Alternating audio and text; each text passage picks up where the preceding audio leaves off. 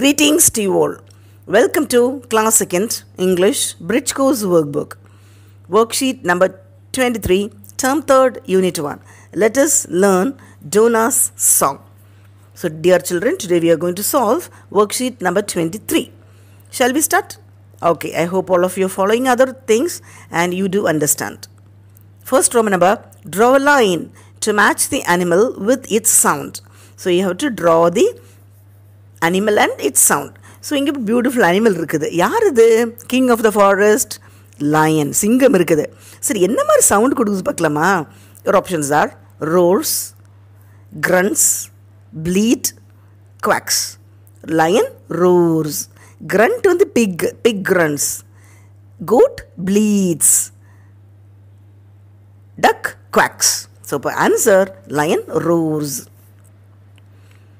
second Roman number choose the correct answer. So, you have the options quacks, mews, barks, moos. Second one talk dash talk என்ன பண்ணும் park பண்ணும் bow வவ் bow வவ் third one gate என்ன பண்ணும் muse meow meow okay third Roman number children read the passage and answer the following questions. So you have a passage and read it and then you can answer. Donna goes out to see his friends. How do you bleat, Shanu? Donna asks Shanu, the sheep. I flick my tail up and down and then shout, ba, ba. Donna cannot do that.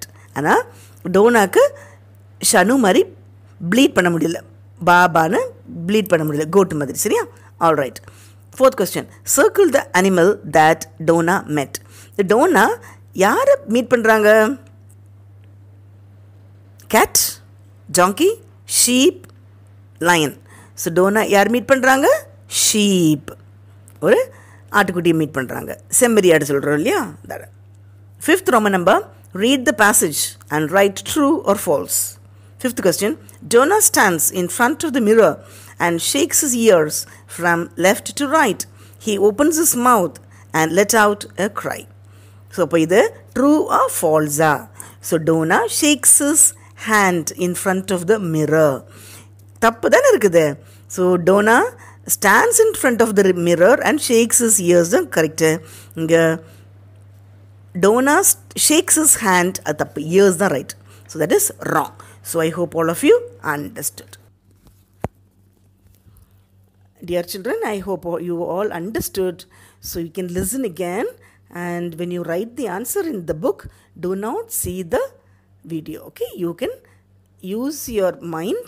படித்ததை வச்சு தான் answer எழுதணும் அப்படியே copy அடித்து எழுதக்கூடாது fine and if you want solutions for other worksheets you can see in the same playlist thank you children